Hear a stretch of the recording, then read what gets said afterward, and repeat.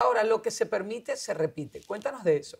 ¿Cuál es el mensaje detrás de este conversatorio? Pues un poco justo lo que, lo que nos estaba llevando la conversación. Y es eso, ¿no? Como dejar uno de echarle la culpa y la responsabilidad a los demás de lo que nos pasa, ¿no? Es que mi esposo me, me maltrata. Es que mi esposo por tercera vez me fue infiel. Es que mi hija adolescente me contesta mal.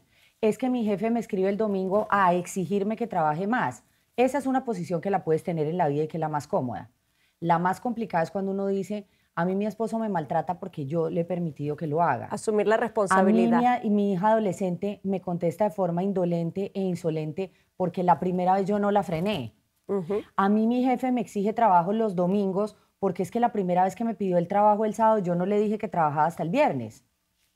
Entonces, ahí es otra posición que asumes frente a la vida donde ya dejas la victimización, este rol de pobrecito femenino que yo no lo soporto, y te empiezas a hacer cargo de cuál es tu responsabilidad frente a lo que te pasa. Entonces ahí uno entiende la frase contundente de lo que se permite, se repite. Es como marcar una línea limítrofe. Si tú lo avalas, no te quejes. Y no te quejes del infierno si te gusta cómo quema. Total. Correcto.